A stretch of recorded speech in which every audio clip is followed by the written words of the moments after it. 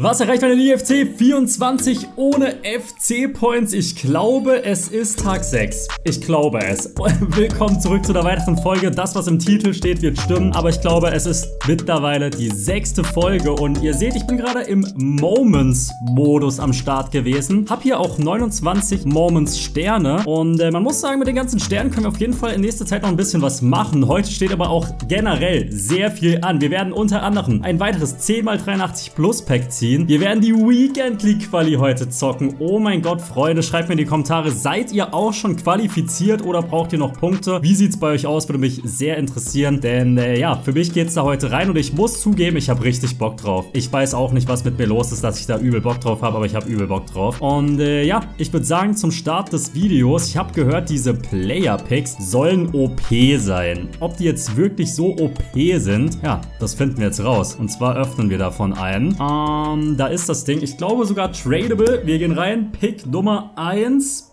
Boah, wie heftig OP ist der denn gewesen? Ja, das war schon mal nix. Ich habe da teilweise Leute Messi und so ziehen sehen. Komm, 17 Sterne haben wir noch übrig. Wir gönnen uns noch den zweiten. Einen weiteren werden wir dann vielleicht in den nächsten Folgen nochmal mitnehmen. Wir gehen rein. Pick Nummer 2. Ey, warte mal kurz. Darwin äh, Nunez, der ist ein bisschen was wert, ne? Junge, Grüße gehen da an der Stelle doch raus an mich selber aus der letzten Folge, als ich Quadiol in meinem Vorschau-Pack hatte und ich gesagt habe, der kostet nichts. Digga, der hat einfach 20k gekostet. Auch äh, Nunez, den wir jetzt gezogen haben, haben, kostet 15.000 Münzen. Also hat sich das äh, Ding direkt gelohnt. Das ist richtig, richtig nice. Ohne Spaß, Mann. Das sind gute Coins, die wir hier auf ganz entspannt mitnehmen können. Mittlerweile sind wir dann auch wieder Richtung 60.000 Münzen. Das lässt sich auf jeden Fall sehen und damit kann man arbeiten. Freunde, wenn euch die RTG bis hierhin weiterhin gefällt, würde ich mich über euren Support freuen. Lasst auch heute wieder ein Like da, wenn es euch weiterhin gefällt. Ich habe unnormal Bock auf die Weekend League, die jetzt am Wochenende stattfinden wird. Äh, Hermoso, jo, der kann da erstmal eine Weile bleiben. Ansonsten bin ich hier relativ up to date. Bei den Zielen sollten wir, ja, 10x83 Plus Pack jetzt am Start haben. Und wisst ihr noch, was ich in meinem ersten 10x83 Plus Pack hatte? Richtig, ich hatte eine 84er Karte da drin. Das war crazy, wirklich. Wo war denn das? Wann ist denn, wann, wann haben wir das denn gezogen? Hier, ne? Ähm, Level 10. Mittlerweile sind wir Level 19 und sollten auch relativ schnell weiter vorankommen. Und äh, ja, das sieht gut aus. Hier haben wir noch den den Rainer, den muss ich noch fertig spielen. Fünf Spiele fehlen da noch. Das werde ich die nächsten Tage erledigen. Bei den Wochenzielen haben wir heute auch alles erledigt, wenn wir ein Spiel machen, weil dann haben wir die Tagesziele fertig. Und bei den zwei Wochenzielen, ja, da fehlen uns noch neun Partien. Und auch das werden wir heute fertig machen über die Weekend League Quali. Da müssen wir nämlich versuchen, so viele Siege wie möglich zu holen. Und äh, dann schauen wir mal, was das wird, Freunde. Schauen wir mal, was wird. Was wird. Stadionbeherrschung, ey, ohne Spaß werde das, glaube ich, nie abholen. Das ist mir egal. Vielleicht mal demnächst in der Web-App oder so, aber aber das kann da hier erstmal bleiben. Okay, hier haben wir noch zwei Goldpacks. Gut, das lohnt sich jetzt fürs erste auch noch nicht. Kann auch hier erstmal drin bleiben. Ja, okay. Damit sieht es ganz okay aus. Dann würde ich sagen, wird es jetzt Zeit fürs 10x83 Plus Pack. Wir holen das Ding ab. Es kann nur besser werden als das letzte. Also da hatten wir eine 84er Karte als Bestes. Es war wirklich krass. Also bitte, das muss jetzt besser werden. Wir gehen rein. Komm schon, Junge. Zwei seltene Gold-Profis-Pack und ein 10x83 Plus-Pack. Das war schon mal kein Walkout. Hakimi? Ja, nee. Wäre auch zu schön gewesen. Hakimi ist ein Banger. Masraoui, den haben wir schon. Ja, die werde ich wahrscheinlich beide untrade haben, weil, ja, wenn ich tradable Sachen ziehe, verkaufe ich das natürlich auch immer direkt. Und damit geht's rein ins 10x83 Plus. Ich habe echt gerade kurz überlegt, ob ich mal wieder so ein, ja, so, so ein Reveal machen soll. Ihr wisst Bescheid aus meiner FIFA 23 RTG, da haben wir das sehr oft gemacht gemacht. Aber sollte da ein Double Walkout drin sein, wollen wir das alle natürlich auch sehen. Und da wird jetzt natürlich ein Double Walkout drin sein in 3, 2, 1. Es ist ein Walkout zumindest. Äh, Sadio Mane. Ist es ein Double? Es ist... Es ist, es ist ein Double. Okay, es ist ein Double Walkout. Bitte. Mbappé, einfach Mbappé. Komm schon, wer ist es? Oh nein, nicht schon wieder, Kobel. Ich habe den jetzt zum vierten Mal gezogen auf dem RTG-Account. Dieser Kobel verfolgt mich wirklich bis sonst wohin. Was soll ich mit dir machen, Minion? Was soll ich mit dir machen, wirklich? Es gibt gerade auch keine SPCs. Ich muss natürlich noch auf 19 Uhr warten. Vielleicht kommt da wieder irgendwas bei rum. Und das ist das Pack. Okay, wir haben noch Flo Wirtz am Start. Sadio Mané, wie viel würde der kosten? Digga, der kostet gar nichts. Würde theoretisch zu unserem Ronaldo passen, aber er kostet kostet nichts. Da würde ich sagen, packe ich die Karten erstmal in den Verein. Die lassen wir jetzt hier fürs Erste liegen. Ansonsten haben wir jetzt nämlich eh erstmal alles erledigt, was man erledigen kann. Ansonsten, Squad Battles muss ich auf jeden Fall noch ein bisschen zocken. Das will ich für Sonntag wieder machen, damit wir da wieder Rewards haben. Division Rivals bin ich mittlerweile in Liga 6 angekommen. Schreibt mir mal gerne äh, in die Kommentare, in welcher Liga ihr seid. Ich könnte das natürlich auch noch weiter grinden, safe, aber ich will da auch gar nicht in so einer krassen Liga sein, weil, ja, immer dran denken, die Freundschaftsspiele sind angepasst an Division Rivals und wenn ihr irgendwelche Objectives bei den Freundschaftsspielen macht, dann werden da die Gegner aus eurer Division Rival Liga am Start sein und dann ist es halt viel, viel schwerer. Man bestraft sich quasi nur selber, wenn man in einer hohen Division ist und äh, EA bestraft uns jeden Tag aufs Neue mit diesen Servern, das ist crazy. Hier sehen wir es. Ich bin mittlerweile Liga 6, äh, die sieben Siege sind diese Woche auch wieder äh, gesammelt, dafür bekommen wir einigermaßen stabile Packs. Ich glaube Liga 5 sieht aber auch gar nicht mal so viel besser aus, finde ich sogar schlechter, weiß ich nicht. Ich glaube es lohnt sich erst ab Liga 4.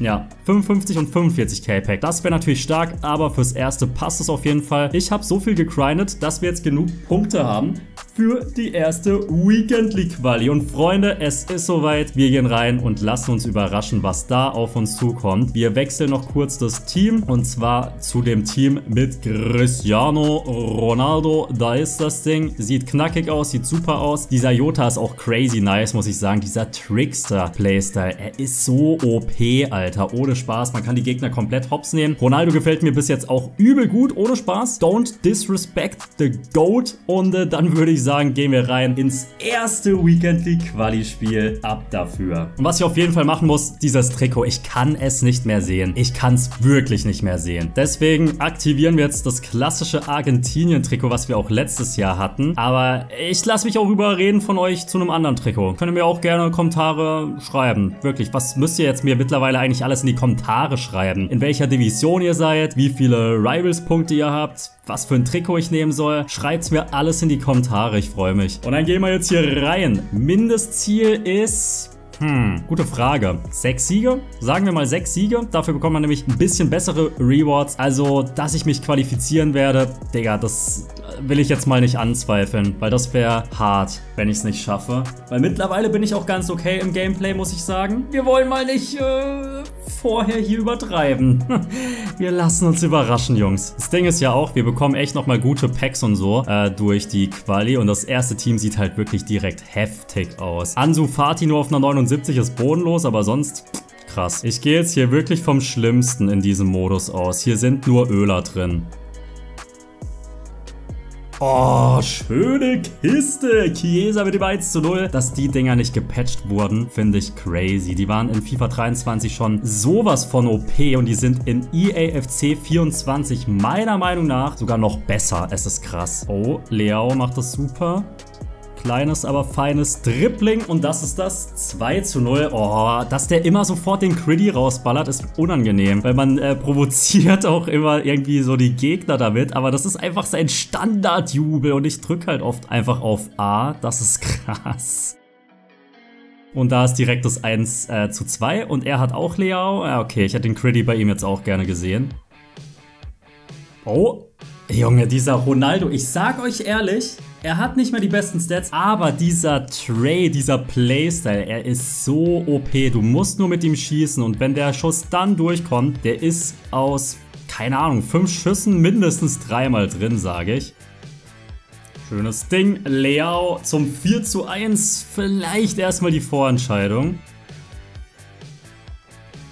Oh, was war das denn? Komplett hops genommen. Also das erste Spiel geht auf jeden Fall auf unser Konto. Damit ist Spiel Nummer 1 zu Ende und wir gewinnen mit 5 zu 1. Sehr, sehr nice. Genauso kann es gerne weitergehen. Wir gehen rein. Spiel Nummer 2. Was kommt auf uns zu? Walker ist krass. Leao ist auch stark. Habe ich auch. Ja, ist ein solides, starkes Team. Ohne Spaß. Freunde, wenn ihr noch dieses Founders-Trikot drin habt, macht das bitte raus. Ihr seid der größte NPC dadurch. Sag ich mit meinem EAFC-Wappen da oben drin. Das müssen wir auch mal ändern. Vamos, Cristiano, Ronaldo, auf Jota, der mit einem feinen Trick. Eieiei. Der kommt gut. Da ist er. Das nächste Ding. Chiesa, Außenriss und 1-0. Es ist einfach damit. Jota. Ey, macht er super. Bisschen lucky, nehme ich mit. 2-0, wichtig. Der Gegner ist nämlich schon deutlich verölter als der erste. Ja, das sieht gut aus. Chiesa. Nee, das ist ja Jesus, den ich gerade eingewechselt habe. 3-0 und das ist der nächste.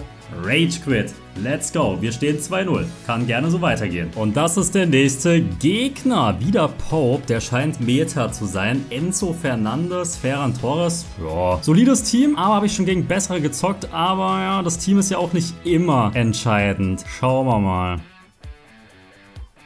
Oh, Ronaldo hat wieder Platz. Powershot, Tor. Es ist krass. Es ist wirklich heftig. Oh, das ist bitter. Der Ball fällt mir direkt vor die Füße. 2 zu 0. Ich nehme es gerne mit. Also ich muss schon sagen, jetzt drittes Spiel Weekend League Quali. Es wird wirklich von Spiel zu Spiel verölter, aber es geht noch klar. Es geht noch klar.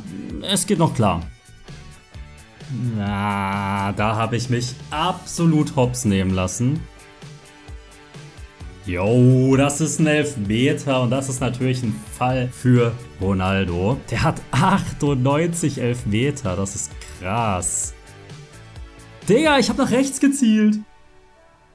Ja, dann halt so. Und damit ist auch Spiel Nummer 3 erledigt und wir stehen 3 0. Läuft. So, wir stehen 3 zu 0. Läuft alles ähm, wie am Schnürchen, muss ich sagen. Also gefällt mir sehr, sehr gut. Coins technisch, wie gesagt, haben wir auch noch einiges im Petto. Also Richtung Weekend, die können wir das Team vielleicht dann sogar nochmal verbessern. Also schreibt mir auch gerne in die Kommentare, wenn euch irgendwas einfällt. So ein N'Golo Kante spielt ja beim gleichen Verein wie äh, Jota. Gefällt mir auch nicht so schlecht, der Inform von dem Mann. Ohne Spaß. Könnte man sich überlegen. Wir gehen rein in Spiel Nummer 4. Wir könnten theoretisch jetzt schon die Weekend League Quali fertig fertig machen. Aber was ist das denn? Okay, jetzt kracht's komplett. Würde mich schwer wundern, wäre der Typ jetzt nicht der größte E-Sport-Öler überhaupt. Zumindest der ein oder andere FC-Point ist da auf jeden Fall aufgeladen worden, Alter. Schauen wir mal, wir lassen uns überraschen. Erstes heftiges gegnerisches Team. Oh, das ist schön gespielt. Ich weiß nicht, wie der Ball da durchkommt, aber 1 zu 0. Gegner meldet die Pause an, aber quittet nicht. Schade. Boah, ist das stark gespielt. Das ist stark gespielt. 2-0. Vamos. Äh, oh mein Gott. Was war das denn? Das tut mir wirklich leid. Das war absolut schlecht, aber das ist ja nicht meine Schuld. Grüße gehen raus. Grüße gehen raus. 3 zu 0 Rage Quit. Wir sind für die Weekend League qualifiziert. Alles, was jetzt kommt, ist Bonus. Bonus-Packs. Wir brauchen mindestens 6 Siege für die besseren. Wir machen weiter. Spiel Nummer 5. Okay. Let's go. Ich bin gespannt, was heute noch so auf uns zukommt an Teams. Das äh, vorher war schon wirklich ehrenlos. Das sieht schon entspannter aus, aber trotzdem stark. Gibt es eigentlich was ehrenloseres als Ronaldo im Argentinien-Trikot? Ich glaube fast nicht. Boah, Jota macht das überragend, ohne Spaß. Ich liebe diese Jota-Karte. Ich kann es jedem wirklich empfehlen, falls ihr noch nicht die Winger Evolution gemacht habt. Der ist extrem schnell, extrem beweglich. 5-Star-Skills hat diesen Trickster-Playstyle, womit man hier so eine verquatschte Zeugs machen kann. Aber das ist auch teilweise sehr OP, muss ich sagen. Und äh, das ist der Elfmeter zum 2-0. Es läuft Bombe. Und das ist automatisch auch eine rote Karte. Es gibt ja wirklich dieses Jahr für fast alles rot. Das ist krass. 2-0 Ronaldo. Oh mein Gott, was war das denn? 3-0. Es läuft einfach super, was soll ich sagen. Also durch die rote Karte ist beim Gegner halt gefühlt Game Over. Das ist echt böse und Jota zieht ihm komplett den Stecker. Das ist schön gespielt. Jota 5 zu 0. Gegner hat keinen Bock zu quitten, aber ist okay. Da ist Ronaldo. Powerschuss und 6 zu 0. Dieser Ronaldo Powerschuss ist so geil, Mann. Das ist das 7-0 und spätestens jetzt hat der Gegner auch gar keinen Bock mehr. Gegner auch mittlerweile mit zwei roten Karten. Also für den ist der Tag gelaufen. Ich würde sagen, wir sehen uns, wenn das Spiel zu Ende ist. Let's go. Am Ende wurde es ein knackiges 10 zu 0 und wir stehen 5 zu 0 in der Weekend League Quali. Wir gehen damit rein in Spiel Nummer 6 und für 6 Siege würden wir schon mal die besseren Packs bekommen. Also wird wichtig ab jetzt. Das Team sieht gar nicht gut aus, aber ich sag euch, wie es ist. Das sind immer die besten Teams. Diese Serie A Teams. Ich weiß ganz genau, dass unter euch auch viele Schlingel dabei sind, die die Serie A-Teams jedes Jahr rocken. Und das sind wirklich die MVPs. Ich sag euch, wie es ist. Diese Serie A-Dudes, crazy, wirklich. Die sind immer so am Ölen, die Männer. Chiesa macht das super. 1 zu 0. Es, es macht Bock. Ich weiß nicht, was los ist. Das Team ist so nice, Mann. Oh, Ronaldo macht das auch sehr, sehr stark. Jetzt der Power Shot. Ist das geil, wirklich. Und der Gegner quittet. So viel zu den Serie A-Teams. Ich hab's ja gleich gesagt, das sind die größten Öler. okay, ich stehe jetzt 6-0 und ich finde keine Gegner mehr. Was ist das denn? So, nach längerem Suchen hat's jetzt geklappt mit einem Gegner. Deswegen erwarte ich jetzt auch wirklich das Schlimmste. Company-Laie? Ronaldinho-Laie? Das Team sieht eigentlich voll lost aus, so an sich, aber sind schon gute Karten. Leao 1-0. Der Gegner wirkt bis jetzt die ersten 5 Minuten übertrieben lost. Das sieht gut aus. Ronaldo. Äh, ich liebe diese Karte, ich sag's euch ehrlich. War das Abseits? Es war kein Abseits. 3 zu 0, Cristiano Ronaldo. Der Gegner meldet die Pause an und wir stehen nach sieben Spielen 7 zu 0. Ich hätte wirklich mit allem gerechnet, aber nicht, dass wir 7 zu 0 stehen. Was geht hier ab? Es hat wieder sehr lange gedauert, bis wir einen Gegner gefunden haben. Also das Matchmaking muss jetzt ja schon daran angepasst sein, wie man steht. Schickes Team, das sieht eklig aus. Kleine, wendige Spieler, das könnte schwierig werden. Oh nee, das war so eine richtig räudige Bude, Mann. Ja, das sieht gut aus. 1-1 Chiesa. Oh oh. Oh, das kann nicht sein. Aber das ist das 2 zu 2. Let's go. Also das wird jetzt hier ein schwieriges Game. Hä?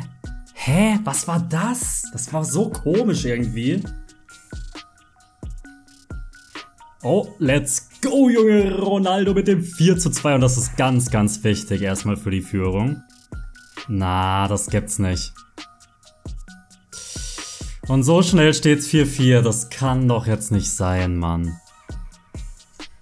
Let's go, Junge. Rafael Leao mit dem Credit, den ich nicht machen wollte. Let's go, damit gewinne ich auch das achte Spiel und stehe 8 zu 0. Und damit haben wir noch bessere Rewards für später. Ich hab richtig Bock, Mann. Wir gehen rein. Spiel Nummer 9 gegen Fullbruch City hieß sein Team und das Team ist krass. Das Team ist krass. Junge, dieses Spiel hat schon wieder so kleine Mini-Ruck. Ah, ich habe mein Wasser umgeschüttet. Ich muss meinen Controller anstecken. Meine ganze Tastatur ist voll. Oh mein Gott, ich krieg die Krise. Digga, er ist gequittet bei 0-0, weil ich meine Tastatur abgewischt habe. Ich glaub das nicht, Mann. Das war's komplett, wirklich. Den hätten wir packen können. So, neue Runde, neues Glück. Die Tastatur ist mittlerweile wieder trocken. Mann, ich hätte gern gegen den vorher gespielt. Der hat ein bisschen lost gewirkt. Und dann quittet er einfach. Was ist das denn? Okay, das Team sieht auch stabil aus. Wir brauchen zwei Siege Siege für Rang 1. Das wäre so geil, Junge. Chiesa. Er macht ihn 1-0. Und das ist das 1-1. Wir, wir hätten eigentlich schon drei Tore machen müssen. Das ist verrückt. Komm jetzt, Ronaldo. Wichtig. Endlich. Ja. Oh, was eine Rakete von Cristiano Ronaldo. Er ist doch der Beste. Ja, das sieht gut aus. 4-1. Wichtig. Und damit ist es vollbracht, Männer. Wir haben ein Entscheidungsspiel um 10 Siege in der ersten Weekend League Quali. Was sehen meine Augen? Ich hätte es niemals gedacht. Das ist crazy. 10-0 wäre ein absolutes Brett, aber selbst die neuen Siege sind schon so OP für die Rewards. Es wird krachen. Hoffentlich. Wir haben jetzt schon sicher ein 55k-Pack, 45k-Pack und zwei seltene Gold-Profi-Packs klein, was auch schon sehr stabil ist. Aber wir wollen natürlich Rang 1 und dafür geben wir alles. Der letzte Gegner ist gefunden. Wir stehen 9 zu 0 und spielen gegen FC Cannelloni. Bitte, mein Bester, bitte. Gönnen wir einfach den Sieg. Radetzky im Kasten, Varan, Puh, da sind ein paar knackige Karten drin. Aber es ist kein Nonplusultra Monte-Teasy-Team, wenn ihr versteht, was ich meine. Wir lassen uns überraschen, Freunde. Ich gebe alles. Ronaldo. Oh mein Gott, den muss er machen. Jetzt. Let's go. Radetzky lässt ihn rein. Wichtig. Let's go. Leao 2-0 nach nicht mal 6 Minuten. Er macht wieder den Critty. Ich hasse es. Guckt euch diese Halbzeitstatistik an. Aber es würde mir so gut tun, noch ein drittes zu haben. Der Typ hat so verdient zu verlieren für diese Anstoßbugs in EAFC, Bruder. FIFA 23 war schon ehrenlos, aber wenn man es jetzt immer noch macht, nee. Jawohl!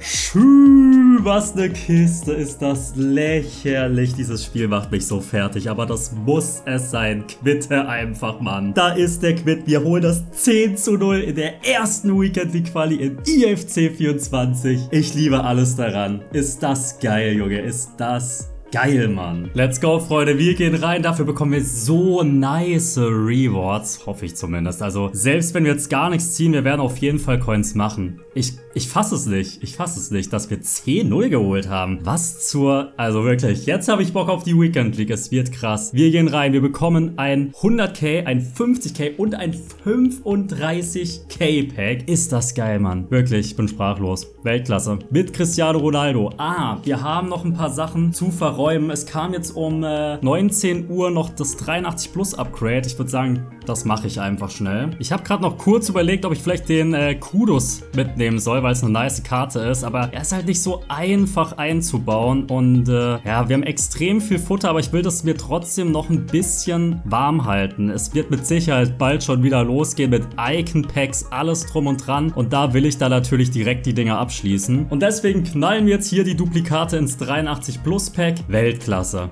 Ich bin glücklich und zufrieden. 83 Plus Pack und damit gehen wir rein in die Packs Mama Mia, das wird ein geiles Jahr, Freunde. Das wird ein geiles Jahr. Es wird wieder ehrenlos das komplette Jahr reingeschwitzt und hoffentlich werden wir richtig geilen Stuff dieses Jahr ziehen und ein richtig nices Team aufbauen und dann wie letztes Jahr in FIFA 23 das bestmögliche EFC 24 Team aufbauen und das ist ein Inform. Keine Ahnung, wer im Team of the Week ist. Ähm, es ist David Neres ist auch ein sehr nicer Sub. Ohne Spaß, Mann. Hat er noch die 5-Star Skills von früher? Das ist eine geile Karte. 5-Star Skills, mega nice. Explosiv, hat er irgendwelche Playstyles, er hat auch Trickster, er hat auch das Ding, wo wir alle wissen, das ist OP. Dann hat er sogar das hier. Ey, das ist echt ein sehr stabiler Sub, ohne Spaß. Übel nice. Wie viel kostet der? 30k? Übel gut. Wir hätten auch Kudos machen können, stattdessen haben wir jetzt David Neres als Sub. Finde ich nice. Wir gehen rein. 35, 50 und 100k Pack. Vamos. Alles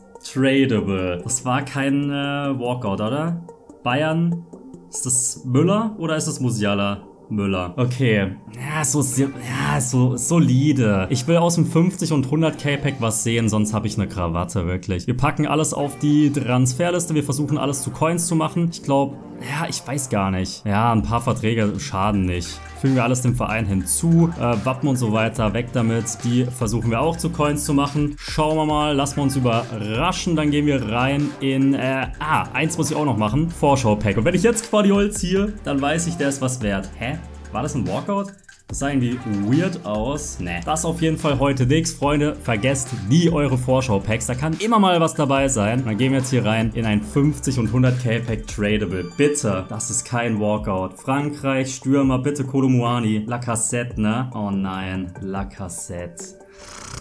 Es wird der Bruch, es wird der Bruch. Was ist dahinter? Oh nein, oh nein, oh nein, oh nein. Oh nein, das geht nach hinten los. Bitte, Junge, bitte. Wir machen weiter. 100k Pack zum Abschluss der Folge. Ich kann da nicht hinschauen, wenn das kein Walkout ist, ne? Ich kann da nicht hinschauen.